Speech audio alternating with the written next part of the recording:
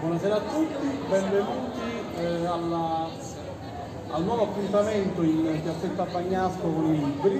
Eh, stasera abbiamo il piacere di presentare Agata Baldi, che ha scritto per Mondadori Lo Lucella, romanzo storico che attraversa eh, una parte importante della, della, storia di Palermo, per cui cercheremo di eh, raccontarvi quelli che sono eh, le parti più salienti, le, eh, le peculiarità di un libro che affronta diverse tematiche, quindi la Palermo, Palermo felicissima, la Palermo industriale, ma anche la, la Palermo del ventennio, quindi la Palermo che ha affrontato eh, quelle che sono state le leggi, le leggi razziali del, dell'epoca fascista.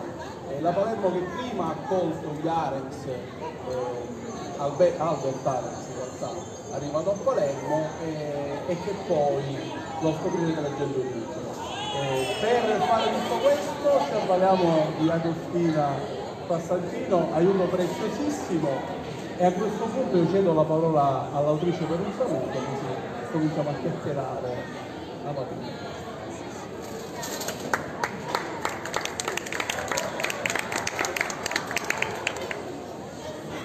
Grazie a tutti, grazie di essere qui, grazie al Presidente dell'Associazione Piazzetta Pagliasco che è bellissima ed è un'idea geniale aver trasformato questo spazio in un salotto.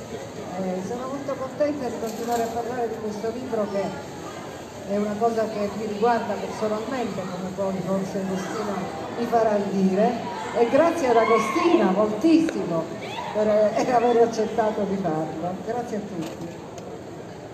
Buonasera, per me non può essere che un piacere, un'occasione appunto per, per conoscere. Eh, per me è stato sicuramente un piacere ed è un piacere essere qui per presentare questo, questo volume, La luce è là, appunto di aver avuto modo di conoscere anche l'autrice Agata Bazzi, con cui appunto abbiamo chiacchierato, poco fa abbiamo avuto un'ampia conversazione anche che ha riguardato gli argomenti del libro. Ma eh, come prima cosa appunto approcciandoci al volume, la prima cosa che mi viene da domandare è eh, perché proprio diciamo di impatto visivo, la prima cosa che eh, ogni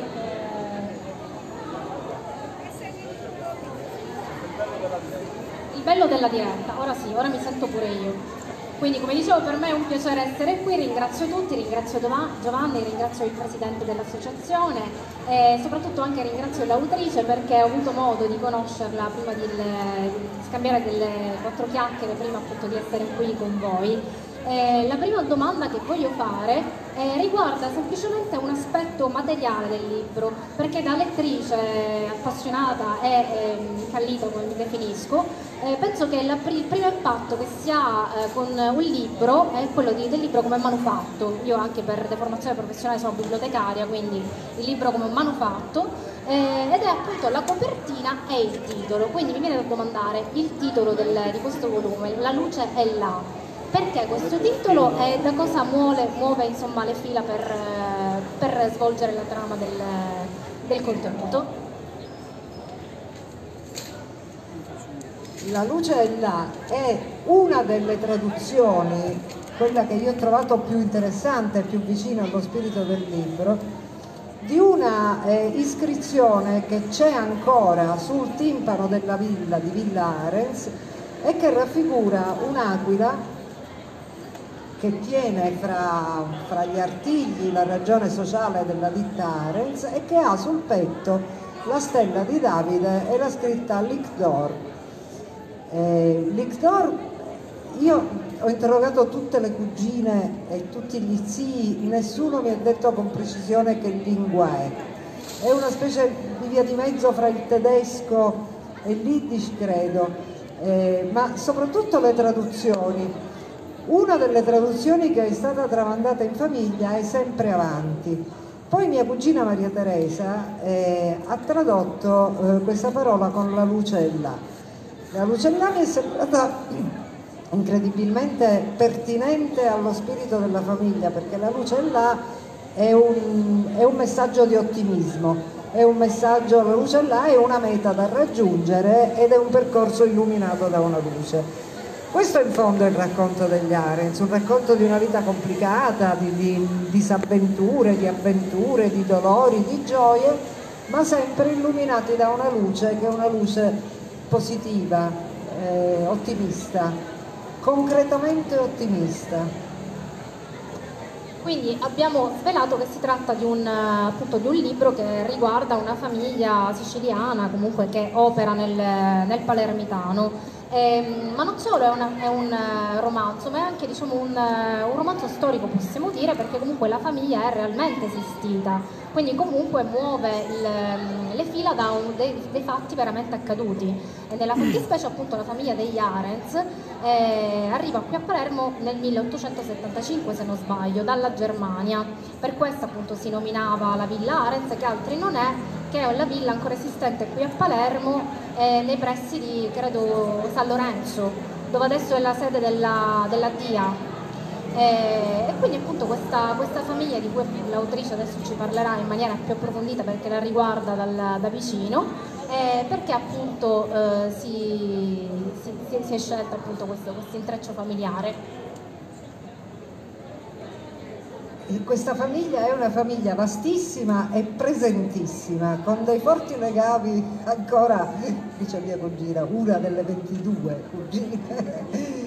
eh, Albert arriva a Palermo nel 1875, giovane, ebreo tedesco, povero, pieno di idee, pieno di competenze, pieno di, ehm, di progetti, eh, però povero. E in pochissimi anni eh, mette in piedi un piccolo impero industriale, diventa ricco, eh, entra nella buona società palermitana e a quel punto ricorda una ragazza che, eh, che aveva conosciuto, che aveva incontrato una sera a teatro sette anni prima ad Amburgo. Albert e Johanna eh, mettono al mondo otto figli, due maschi e sei femmine. Una delle femmine è mia nonna. Le sei sorelle Arens, tutte vissute quasi fino a cento anni, hanno tenuto insieme la famiglia per generazioni e generazioni. Ancora adesso, vabbè, quelli della mia generazione abbiamo conosciuto le nonne, ci consideriamo cugini come se fosse una cosa normale, in realtà siamo cugini di secondo grado. Ancora cugini si chiamano i nostri figli, che hanno una fortissima, eh, una, un fortissimo senso di appartenenza a questa famiglia. Eh, prima di Natale per ringraziare i parenti, quelli più vicini che erano stati così affettuosi, li ho invitati a un aperitivo a casa mia, eravamo 52, il, il più anziano aveva 92 anni, il più piccolo ne aveva 7 ed eravamo tutti cugini. Io credo che questo legame che è un legame eh, fatto di storia e di storie, ma è un legame fatto di, di, valori e di comportamenti.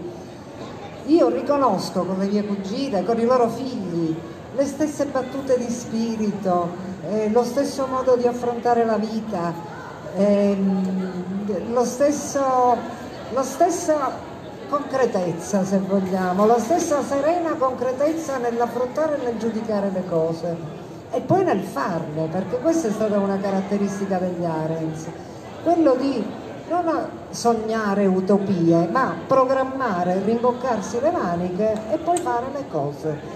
In un'epoca in cui le donne non facevano le cose, in un'epoca in cui le donne non facevano lavori da uomo, non, facevano, non andavano all'università, le sorelle Arens erano, erano assolutamente serene, senza nessuna volontà di affermazione o di rivendicazione, erano semplicemente quello che erano, facevano quello che ritenevano giusto, insegnavano ai loro figli a fare quello che ritenevano giusto e tenevano tutti uniti questo legame che ripeto ancora c'è, c'è tutta una parte della famiglia in, ehm, in Francia per esempio, io non li conosco tutti, ma sempre ci chiamiamo cugini e tutte le volte si riprende il discorso come se non fosse mai, mai interrotto.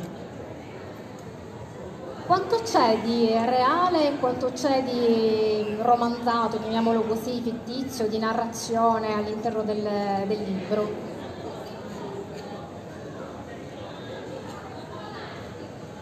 22 cugini, ognuno ha pezzi di arredamento, gioielli, aneddoti, sciarpe, fotografie, scatole, lettere. Quindi ognuno ha un bagaglio di materiale, di cose e di racconti fatti dalle nonne. Ehm, a un certo punto, eh, appunto con una delle mie cugine, Maria Teresa, abbiamo detto ma senti, vediamo che roba c'è qua. E quindi la prima cosa è stata quella di ricomporre un puzzle. Ognuno metteva un pezzettino, abbiamo scritto delle mail ai cugini francesi e da lì arrivavano altri racconti. Quindi fino a questo punto era la ricostruzione attraverso pezzi materiali e pezzi diciamo raccontati di una storia vera. Poi eh, ho fatto leggere questo brogliaccio che avevo nel frattempo scritto eh, a delle persone che con la famiglia non c'entrava niente. Mi hanno detto sì, è molto interessante per tua figlia, per le tue cugine, per i tuoi nipoti, ma se tu vuoi scrivere un romanzo devi, devi dire, trasmettere un linguaggio universale. Il linguaggio universale non poteva che passare dall'interpretazione dei sentimenti, e allora se io ho eh, il racconto e anche l'oggetto del telegramma Ya con cui Johanna risponde alla domanda di matrimonio, tutto il resto, Albert che aspetta questa risposta, che non riesce a leggere il giornale, che poi va a prenderla alla stazione e compra i fiori e non sa che fiori le piacciono, eh, questo è il romanzo. Così come è il romanzo il fatto di legare la famiglia alla storia dell'Europa. Questo è stato, prima di diventare romanzo, è stata una vera ricerca. Io ho dovuto studiare per almeno un anno, eh, perché gli Arens non, non, solo fanno parte della storia di Palermo, ma fanno assolutamente parte della storia di Europa. E, e, e quindi immaginare i sentimenti, trasformare i racconti e gli oggetti in sentimenti universali ha dire, cambiato la rotta da memoir di famiglia a romanzo. Ed infatti una mia osservazione appunto partendo da questa, da questa riflessione è eh, quella appunto del, del fatto che questa famiglia parte dalla Germania, quindi Hamburgo se non ricordo male, poi ho visto che c'è anche una ramificazione che passa per il napoletano verso Napoli e poi arrivano qui nel 1875 con Albert Arens, appunto, il capostipite della famiglia. E quindi ehm, per quanto riguarda Palermo, la storia della locale, si racchiude in un arco temporale che va dal 1875 fino al 1958 quindi mh, con uno scarto di pochi, un ventennio, quasi cento anni si racchiudono in questo libro. Quindi siamo negli anni della Palermo felicissima, dalla, della Palermo Liberty, quindi delle grandi architetture in stile Liberty, della, della Palermo fiorente, della grande esposizione nazionale e appunto questa famiglia operava in questo territorio che comunque la società plasma in un certo modo chi opera all'interno di un determinato contesto anche storico, artistico e culturale. Quindi ehm, volevo anche domandare, la, la, ricerca appunto fatta per, per la storia locale, come, come par- cioè, da, da, dove è partita? È partita da una considerazione, anzi da una domanda fatta al contrario. Eh, mi hanno chiesto perché Palermo, dopo questo straordinario sviluppo industriale degli anni eh, degli imprenditori stranieri, dei Florio, eh, eh questa ricchezza improvvisamente scompare. Una delle risposte l'ho trovato in uno del bellissimo libro di, di Orazio Cancina che si chiama Storia dell'industria in Sicilia. Succedono due cose. La prima cosa che succede è che è precedente e che è relativa alla fine del Settecento e alla prima metà dell'Ottocento è che c'è la prima rivoluzione industriale e che quindi gli investitori, gli imprenditori cercavano luoghi dove ci fossero risorse e dove ci fosse manodopera a basso costo. Nel 1861 a Palermo succede una cosa che non era mai successa fino allora e non, sarà, e non succederà mai più, e cioè se ne va il governo della città. Palermo è sempre stata una città di governi, le città di governi si vedono, hanno le piazze che sono la scenografia sono, sono la, lo scenario del potere, hanno i vialoni per le parate, e hanno un tipo di eh, rapporti che sono rapporti basati su gerarchie, su favori, su, su rapporti personali di potere. Le città industriali non hanno questa, né questa bellezza, perché le città di governo sono bellissime, né questo tipo di rapporti. Le città industriali si basano sulla concorrenza, cioè sul tentativo di migliorare la qualità del prodotto. A Palermo per un breve periodo che va dall'unità d'Italia all'arrivo della regione siciliana non c'è governo, quindi ci sono gli imprenditori che portano il denaro e le competenze, ci sono le risorse, c'è l'uva ma non fanno il vino, c'è il sommacco ma non fanno eh, eh, il tannino, eh, c'è lo zolfo ma non sono capaci di estrarlo. E quindi arrivano in grandissima quantità questi imprenditori stranieri. Con l'unità d'Italia ci sono anche delle agevolazioni fiscali uno dei luoghi più emozionanti di questa città è il cimitero degli stranieri, che è vicino ai Rotoli, dove si attraversano, io credo, centinaia di tombe. Si chiama cimitero acattolico, non è un cimitero dove ci sono rappresentazioni religiose. Eh, e i nomi sono tutti stranieri, sono i Cafflish, le Scherf, Whitaker, Oliver, sono inglesi francesi, tedeschi, svizzeri, moltissimi.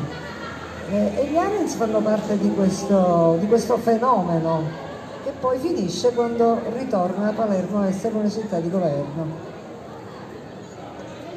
Volevo spendere qualche parola anche alla tipologia di mh, mm, lessico, linguaggio utilizzato, che è un, di impatto, è decisivo, scorrevole, preciso, puntuale. Ogni frase esprime un concetto. Dicevo poco fa, senza perdersi in orbelli che secondo me adesso nella contemporaneità non servono più a nessuno. È un linguaggio puntuale, esplicativo e visivo, perché ogni, ogni frase, almeno a me, suscita un, una, un, una come se io vedessi ciò che l'autrice mh, desidera scrivere. E tutto ciò mh, spiegato senza, io ho detto poco fa, come se fosse stato fatto un labor lime, cioè proprio una, un taglio di tutto ciò che è superfluo e si mantiene invece semplicemente tutto ciò che è essenziale e che è diretto. Inoltre, appunto, sempre dal punto di vista eh, stilistico, io sono, mh, diciamo, molto, eh, osservo molto gli indici e notavo poco fa appunto la divisione di questo volume in quattro parti. La prima parte dove si parla appunto del, si parte da Albert, quindi dal 1875 e lo possiamo chiamare una specie di introduzione. Poi abbiamo la seconda parte dove appunto non per niente si chiama Gli anni felici ed è come se descrivesse una specie di ascesa, un acme di, tutto l'intreccio dell'escursus. Dopodiché, dopo l'Acme non può che esserci il declino, come ci spiegano anche i grandi oratori, quindi il De Repubblica, cioè come la storia che è quasi circolare, quindi quando si raggiunge l'Acme non si può che scendere, quindi c'è un declino che culmina con la, seconda, la, fine della seconda guerra mondiale, quindi 1945, ma poi c'è una quarta parte. Questa quarta, parte, questa, eh, quarta parte non per niente si chiama la continuità, e io volevo chiedere appunto, ma quanto c'è di continuità in questa quarta parte e quanto c'è invece di risalita o di eh, cambiamento, di modernizzazione, quindi continuità intesa in che senso? Non userei il termine risalita.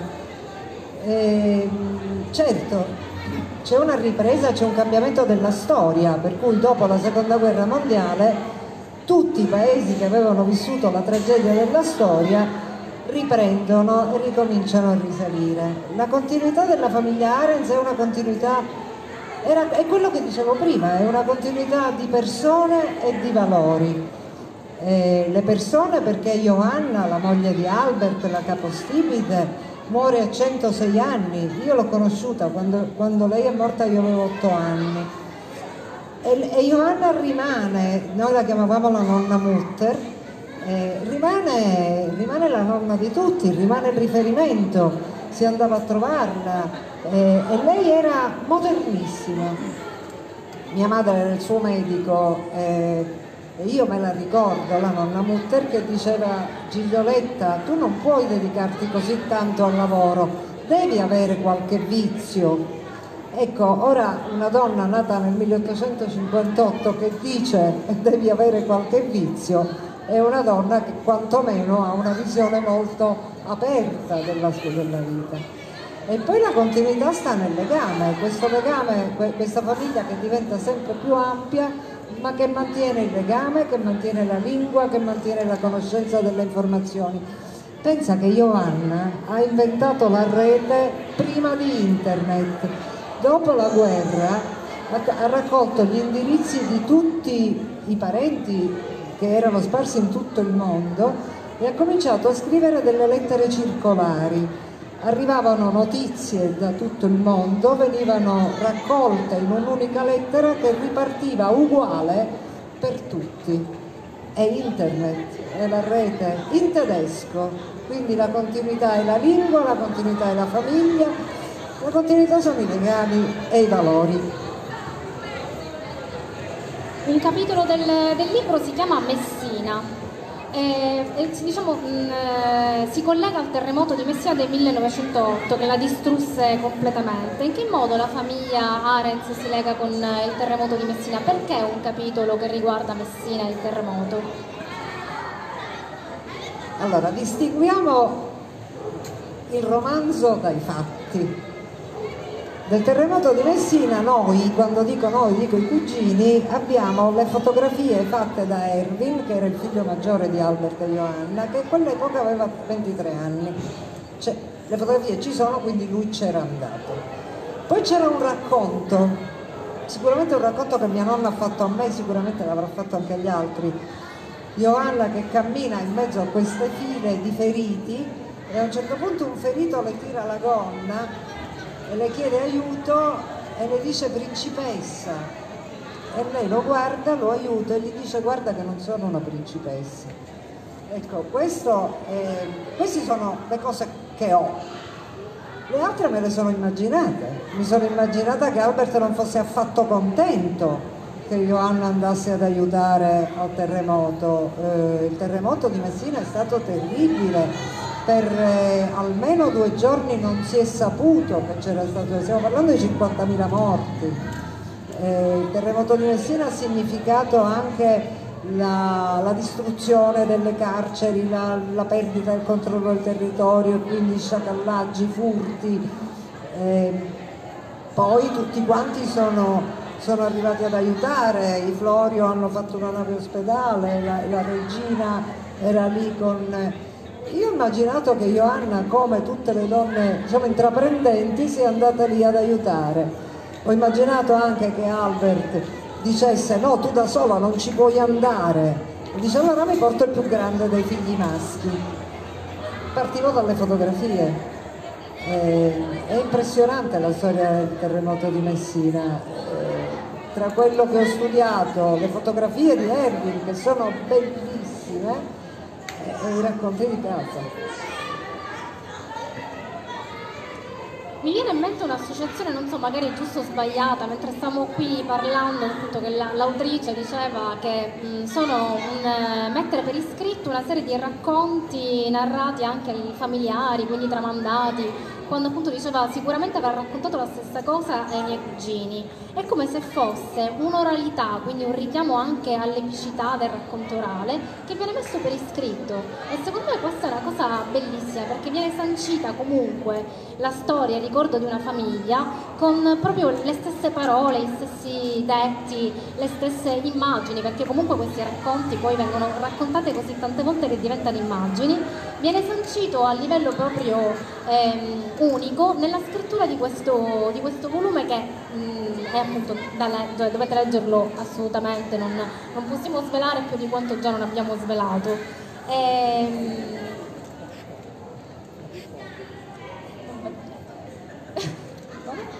la faccio io la sì, domanda, sì, sì. tanto così mi sento. Perfetto. Ehm, quello che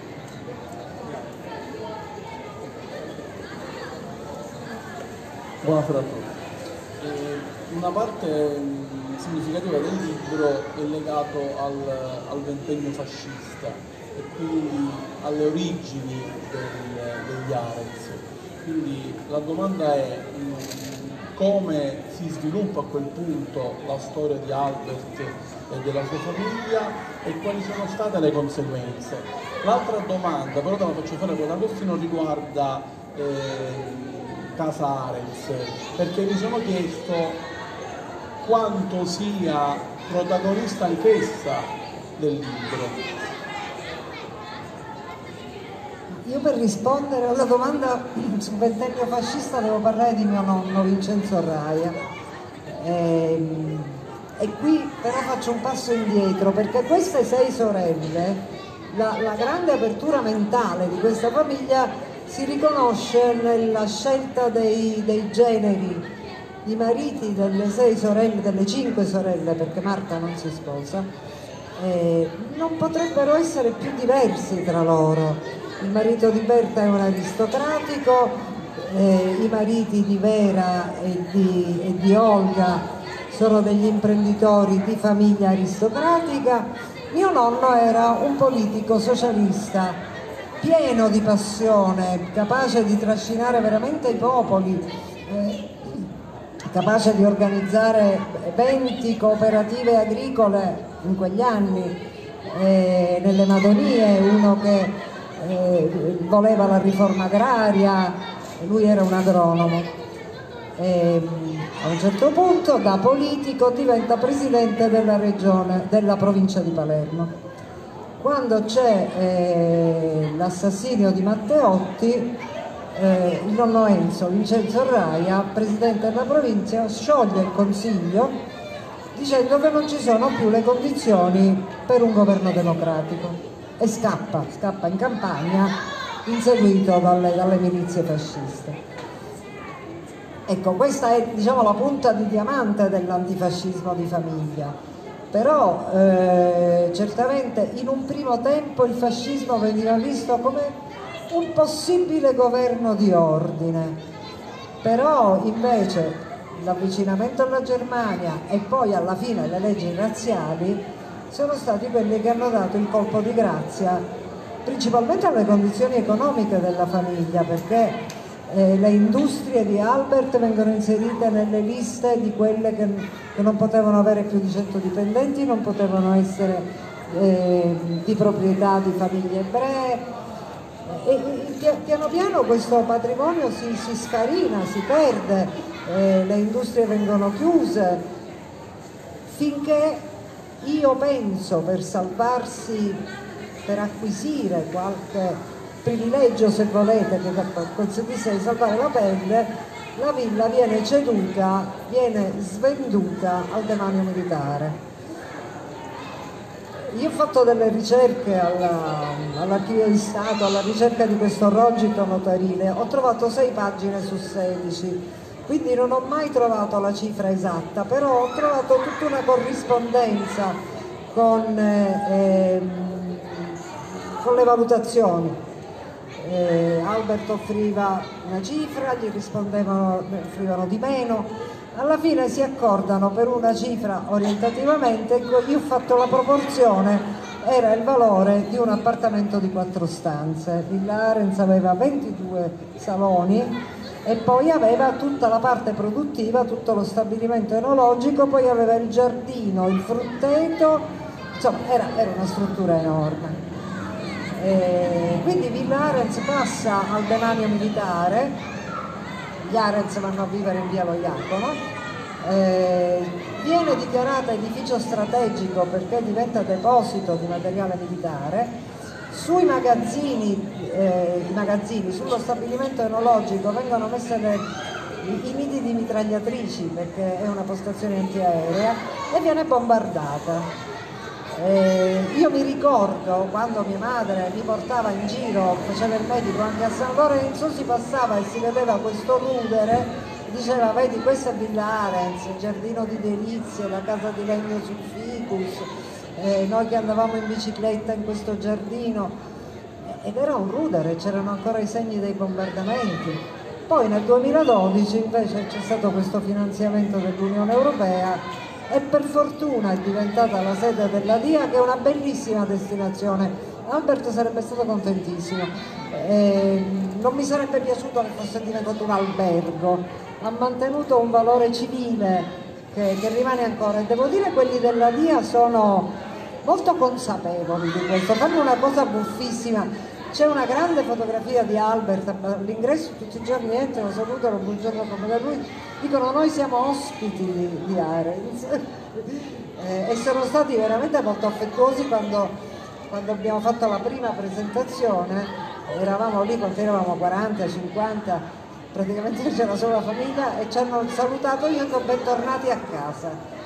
Eh, sono, sono, proprio bravi, io ci va, telefono alla dia, dico passo con un amico per loro va ancora bene. Allora, ci avviamo verso la fine, mi piacerebbe, sono dalla cassa, che qualcuno facesse una domanda o quella curiosità, chi magari ha, ha letto il libro, avesse curiosità da, da chiedere all'autrice.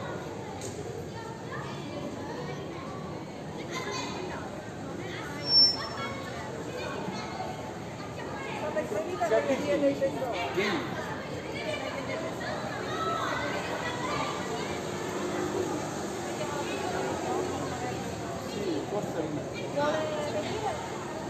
chiedevano se la villa è visitabile a livello turistico eh, sì, per le vie dei tesori, diceva. È stata inserita nelle vie dei tesori e quindi è visitabile il cortile, è visitabile alcune parti. Quando io ho chiesto se si potevano visitare le cantine, che sono delle, delle cattedrali, io ho visto le fotografie, mi hanno detto, sa, sono gli archivi segreti della via, quindi non è che proprio si può visitare tutta, però si può visitare un po'.